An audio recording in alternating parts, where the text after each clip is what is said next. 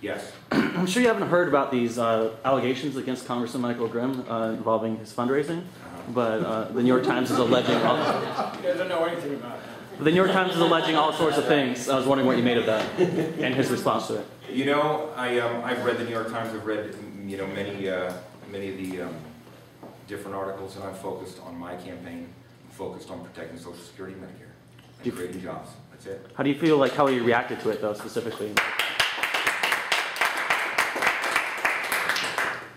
The, he's sort of dodging reporters. Some feel anything about that?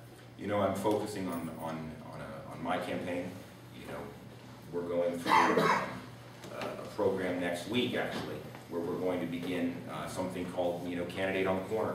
We're going to go to, we're going to do Fifth Avenue. Yeah. Oscar and I are going to go walk Fifth Avenue. We're going to stop on the corners and we're going to talk to business people. We're going to talk to the people. And then we're going to go maybe on Monday to Port Richmond in Staten Island. And we're going to it there, talk to people there. We're going to go, uh, those are the things we're going to do and those are the things we're focused on.